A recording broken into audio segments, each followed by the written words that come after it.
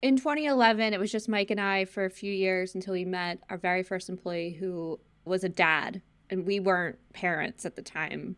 And so to have somebody on our team who was a father of two just made a huge impact on us in regards to ensuring they had a strong work life balance.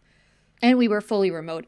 We've been fully remote the whole time. Like I mentioned, I was in San Jose, Mike was in San Francisco, this person was in Portland, and then we moved around a bunch. So we've been remote since day one.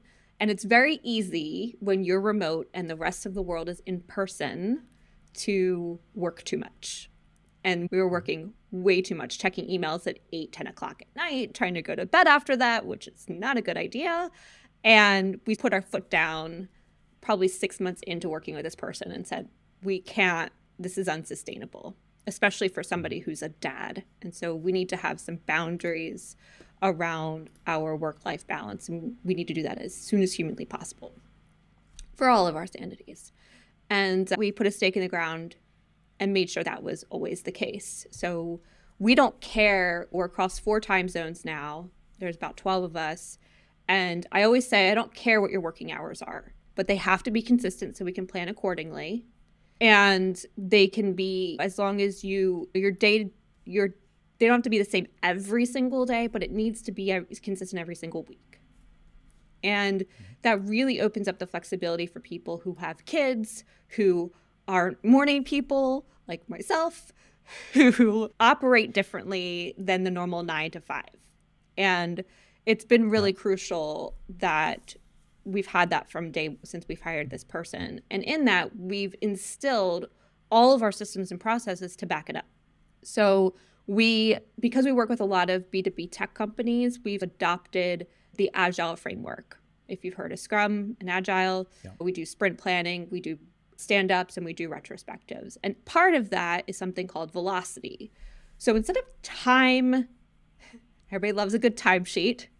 They're the worst. Yep. So instead of time tracking, we actually plan ahead. We use velocity to say, how much time does everybody have every week? What needs to get done? And how do we marry those two things together, thinking ahead versus looking behind? And so, in doing that, we can really ensure that people only work seven hours a day and what percent of that is actually billable versus internal meetings we want to have, coffee chats we want to plan for, those sort of things, it allows us to really naturally, without a huge lift, ensure that work life balance all the time. And that allows us to not only be there for our employees and ensure that they do the best work that they possibly can for their clients, but it also allows us to set boundaries with clients. If you want something done in the next week, we need to have it by Thursday.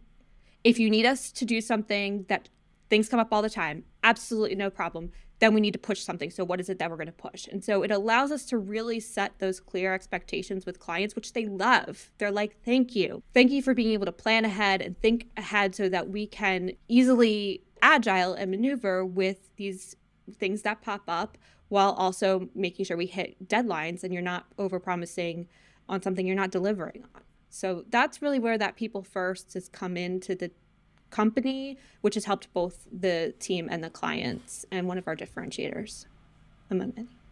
Absolutely. I love that. Being able to manage the unknown unknowns. Like people just feel consistently to expect them, even. And yet they happen every week in, week out. And when they do happen, it's a crisis every time. And I've always I've developed my own sort of style of working around those unknown unknowns and making sure there's enough buffer time built into each day. But then that there are that not you don't get them every single day. So then having things online that you can just get on with when the unknown unknowns happily don't appear, it's nice to know that you're still working productively. Okay, so to move on then, one of the things that I'm going to be asking quite regularly of our marketing guests